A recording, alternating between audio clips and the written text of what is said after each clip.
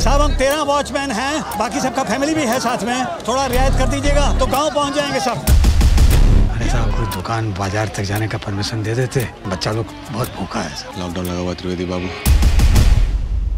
बच्चा परिवार भूखा रहे और वहाँ स्टोर के अंदर खाना रखा रहे कहाँ जा रही है बारात? मॉल के अंदर जाएँगे हम। ज़्यादा चौधरी पना मत दिखाओ त्रिवेदी। अब दिमाग घूम गया ना हमारा तो कुंडली लगाना जानते हैं हम।